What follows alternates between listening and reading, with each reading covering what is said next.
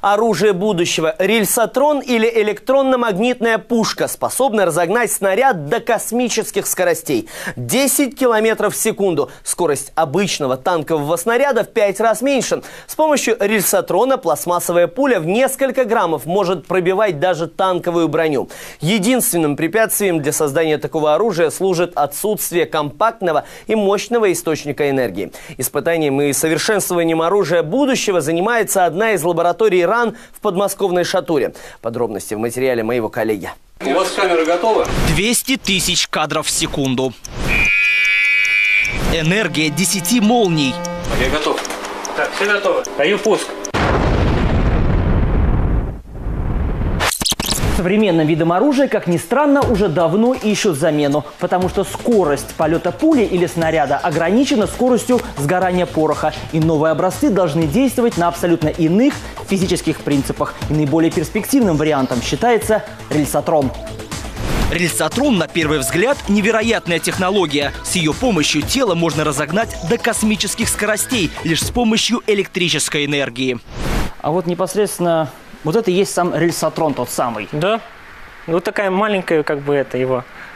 Не считать как бы оружием, а все-таки это такой лабораторный стенд, на котором можно прилично стрелять и испытывать всякого рода материалы. Однако именно рельсотрон или электромагнитный ускоритель может претендовать на звание оружия будущего.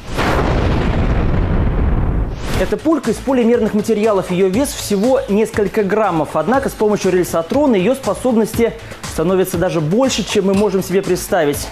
Она способна пробивать вот такой блок мишеней и оставлять в них огромные дыры.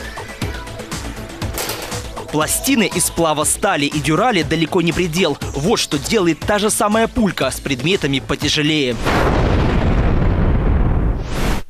Но это не вот такой пулькой все это вот это, делается. да, это все делается вот, метаемым телом, массой. Вот здесь вот характерная масса, здесь 2-2,5 грамма. И вот такая вот пулька делает вот такие вот большие разрушения.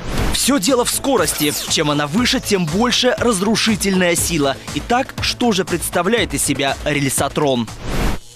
Мощнейший разряд между электродами образует плазму. Ее, как по рельсам, вместе с телом выталкивает магнитное поле. Скорость тела в этом случае в 5-10 раз больше, чем у обычного снаряда.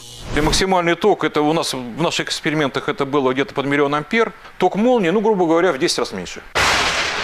В шатурском филиале создают и другие экстремальные природные явления. Например, атаку микрометеоритов на корпус корабля. Две мишеньки тонкие, на них происходит разрушение, собственно говоря, микрометеорита. А следующая мишень, это основная, то есть корпус корабля, грубо говоря, космического или что, он остается неповрежденным. Теперь заходить в это помещение запрещено. Начинается эксперимент. И прямо сейчас мы сможем убедиться, на что способно это уникальное устройство.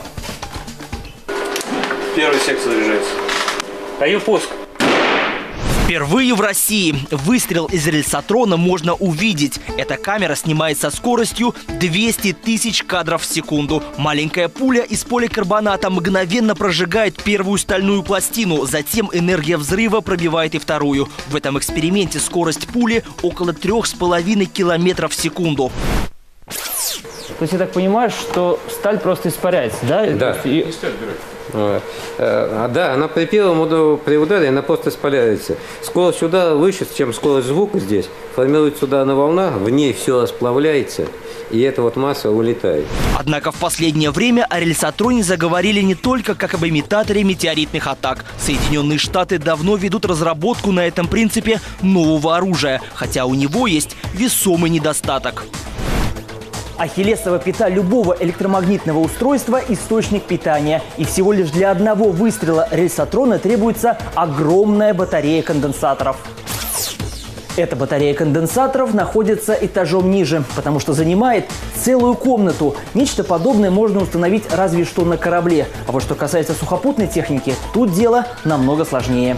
В США предполагается поставить такие орудия с дальностью стрельбы до 400 километров на эсминцы нового поколения. Недавно американцы представили концепт и сухопутного рельсотрона «Блицер». Его дальность до 80 километров.